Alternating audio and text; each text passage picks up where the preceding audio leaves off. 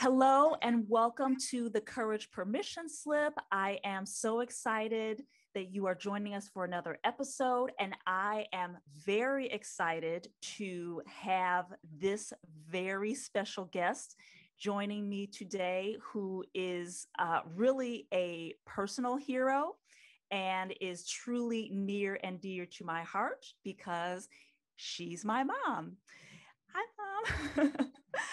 uh, her name her name is Debbie Meyers Martin, and I'm going to share just a little bit about her because her list of accomplishments and accolades is very long and distinguished, but we're just going to share a little snippet. She is the Illinois State Representative for the 38th District, where she is a member of the Illinois Legislative Black Caucus, the Democratic Women's Caucus, and the Conference of Women Legislators. Debbie is also the former mayor of the village of Olympia Fields, my hometown, and she was named one of the 50 Women of Excellence by the Chicago Defender and was a recipient of the Outstanding Woman's Award. And not only that, but she is just the picture of grace and elegance that many people aspire to. You know i and i know i've shared this with you mom. Many people have shared like your mom just seems like she just floats. So um so she's just a wonderful woman and i could be biased because she's my mom but welcome to the show. Thank you so much for joining me mom well, thank you so much for the invitation and the opportunity to to be on the show with you and your and your listeners uh, and your viewers. Uh, I am very excited to be here and very honored that you wanted to include me uh, on the show uh, to talk about courage and courage permission because uh, I think that that's important for people to um, consider that and to and to just make it part of their uh, you know livelihoods and make make it part of their life. So I'm very happy to be here. Excellent, excellent. And I mean, that's a great segue because I kind of just want to dive in when you talk about how important it is for people to have courage in what they do. And I'm curious to hear from you when you hear the word courage, um, you know, what does it mean to you? What does it represent? Well, I think that courage is something that, you know, you have within, but it is a mental ability. It's a mental ability to resist hardship, to resist fear, uh, to resist opposition or difficulties. And so uh, I think that it's something that you have to develop I mean, you have to, it's almost like a muscle. I mean, you have to work at it to make it stronger and to make it more proficient in your life. But I believe it's a mental ability.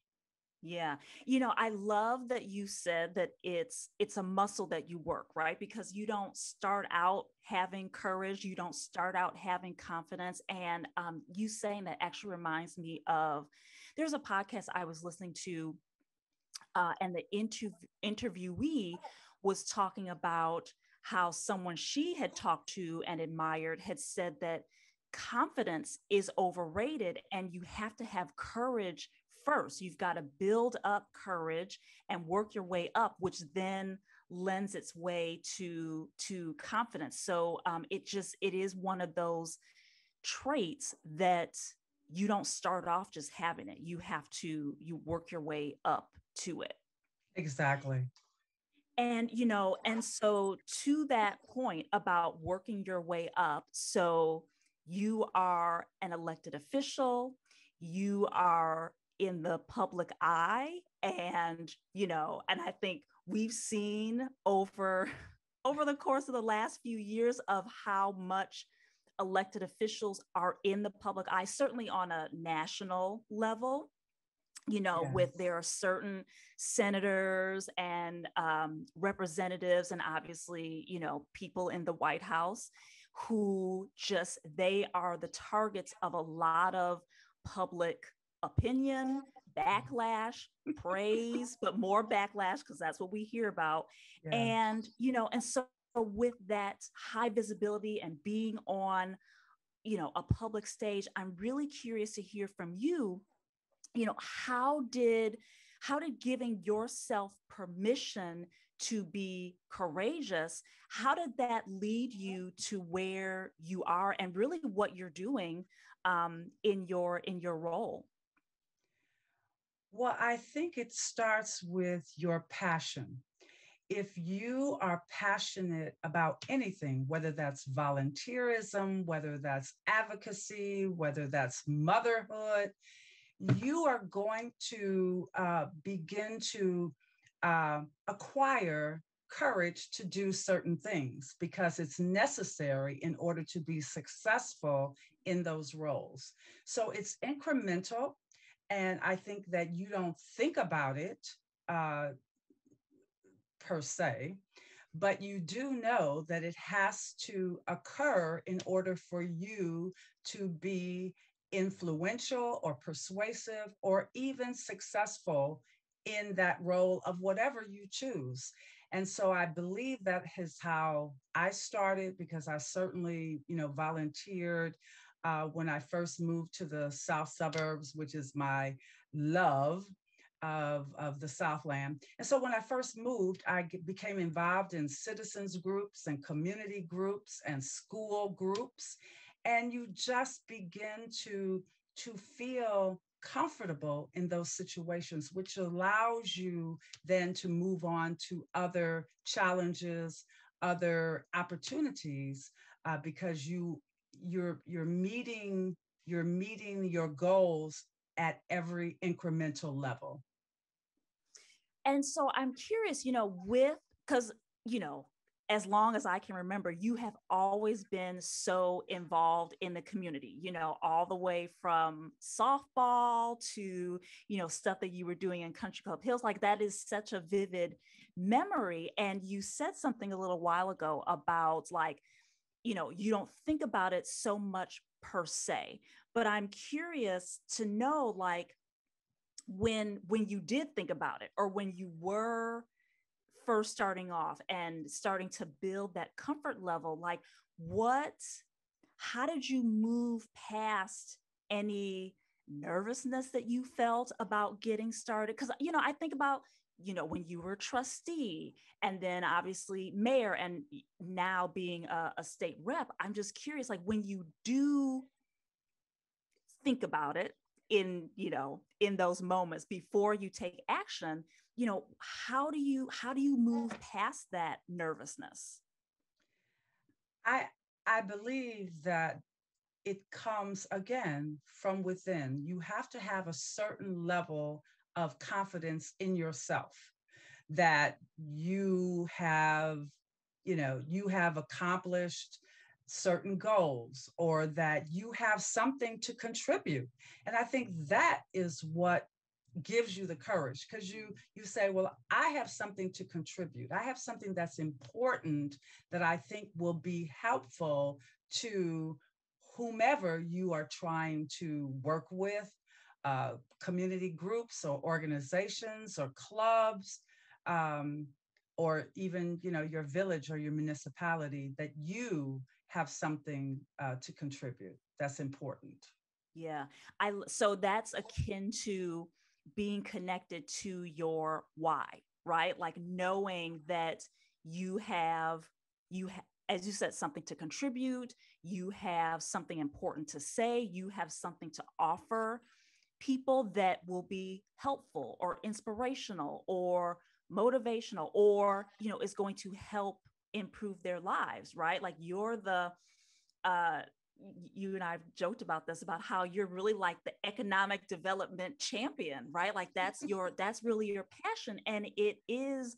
the root of so much of what you do. And so I hear you leaning on that to help you move past some of these um, any nervousness that you might feel. And that's not to say that you don't still feel that nervousness. Uh, it doesn't like disappear, but you become stronger than it. It yes. you do not allow it to hold you back but you still feel it from time to yeah. time i know you know anytime that i'm invited to speak before a group um, you have to do your preparation. You have to do your legwork. You have to do your research so that you have a certain level of confidence but you still are like are they really going to get me? Are they mm. really going to enjoy what i have to say? So that that exists but the courage is to move beyond that. Right. Feel the feel the fear and do it anyway. Yes exactly. Yeah um, so you know, when when you are getting ready to do these speeches, and you know, are there places where and you probably still you just kind of answer this but you know are there places where you still have to give yourself permission to be courageous to take that step forward?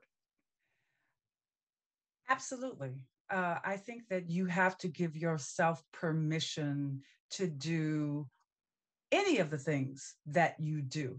And I'm hoping that people are are doing the same thing that I do, which is you weigh. You weigh the mm-hmm. pros and the cons, the pluses and the minuses. Uh, you weigh your buy-in, your compassion, your how passionate you are about what you're doing, and your conviction that you know you need to do that so all of those things must be in place uh, in order to give yourself permission to then move forward uh, in that courageous um, place that that mm-hmm. courageous space in your life mm-hmm. Mm-hmm. and so to that point for anyone who is listening who has a goal, who has that thing that, uh, you know, that idea that won't leave them alone. They have this, um, you know, I uh, passion for something, but the fear is a little bit too important right now. What would you say to someone who um, has that goal that they want to achieve, but are afraid to take that step forward? Well, again, I believe that it's preparation. Uh, I mm-hmm. used to always tell my staff that I'm willing to confront any question, any person regarding, you know, policy, uh, you know, my my um, you know my buy-in my my accomplishments i'm willing to face that as long as i know you know what i'm talking about Mm. And I only can know that if I've done the preparation. So, so I would tell staff, I'm like, well, don't put me in the position that I'm going to face something and I don't have the answers or the background knowledge. So it's the same way with any of your listeners or your viewers that um, you know need that extra boost. Make sure that you've prepared for you know what may come. It may not come but if you're prepared then you you have that you have that confidence and that conviction that you can do it because you're prepared. And and never forget that you have to have integrity while doing that. Uh, so so all of those things uh, it's it's a mixture. It's you know just like with anything in life, there's never just one answer. It's always got to be, you know, a collaboration of so many things. Uh, mm-hmm. But I believe that is what will give anyone that extra oomph to to do what they need to do. Yeah, you know, I I love that perspective of preparation and that's something that comes up in coaching conversations too where people have something that they want to move forward on but you know, the common response that I hear is, well, what if I fail? What if, what if it doesn't go well? And the thing is, right, like there's only, you can only prepare so much, right? But if you get some of those basic points down, you get enough knowledge to be dangerous, then even if you don't you know achieve the the exact goal that you set out to do at least you've moved forward and you've gotten information that you can then use to prepare even better for the next time but mm-hmm. you know the the preparation piece is is something that is is more powerful than i think people give give credit to yes. um, and it can it can certainly um, help ease the fear of moving forward and never be afraid not to have all the answers because no one does.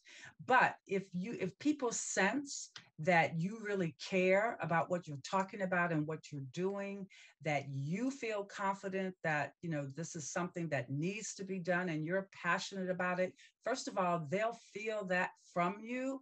And secondly, they will accept the fact that you don't know everything, but that you are willing to pursue all things. Right. And people can tell when you're spinning trying to make it look like you know the answer and you really yes. don't and there and and to your point about integrity like there's a lot of integrity in saying you know i actually don't know the answer to that question right now let yes. me get back to you yes that has more integrity uh, and authenticity and power i think than you saying oh I don't know this, but I'm gonna I'm gonna pretend that I know it because then you just start digging yourself into a hole. I think. absolutely, absolutely, and even in the legislature, you know, if you are put you know presenting a bill and someone asks you a question you don't know every nook and cranny of the bill so don't try to pretend that but say, let me look into that and get back to you with an answer. And that is always acceptable. Mm-hmm. It's always mm-hmm. acceptable. Mm-hmm. Yeah. Oh, I love that. I love that. Thank you for that perspective. So remember, everybody, you don't have to have the answers all the time.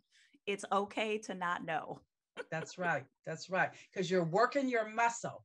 yes. Yes. You're building up the muscle of courage and confidence.